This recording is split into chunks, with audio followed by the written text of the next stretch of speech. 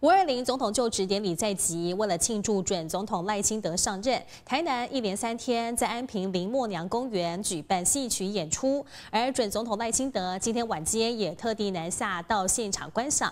由于演出是在户外，人群流动相当频繁，对维安也是一大考验。台南市警方不敢大意，动员了将近百名警力执行维安交管勤务。沙考罗。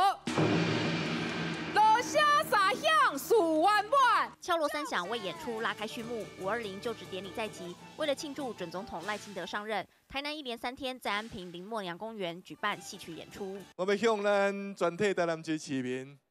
表示十二万分的感谢，我用一鞠躬，深深给大家说多谢。对台南乡亲深深一鞠躬，感谢大家支持。曾任台南市长的赖清德回到这里，如同回到家乡，倍感温暖。在看戏之前，更不忘到摊位区和摊商握手拍照，